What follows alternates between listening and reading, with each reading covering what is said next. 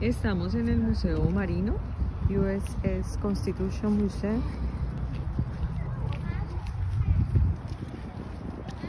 Hay barcos. Ese barco que está allá es el único que queda de una flota de barcos que participó en la Segunda Guerra Mundial, el Constitution. Y aquí los mástiles negros que se ven allá, oscuros y, y con cuerdas negras y, es, es El, astillero donde arreglaban Este es un astillero naval.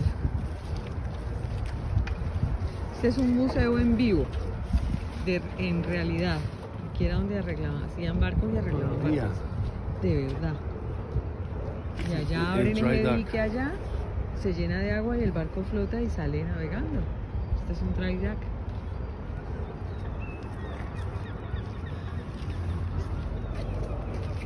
Aquí está como arreglaban los barcos.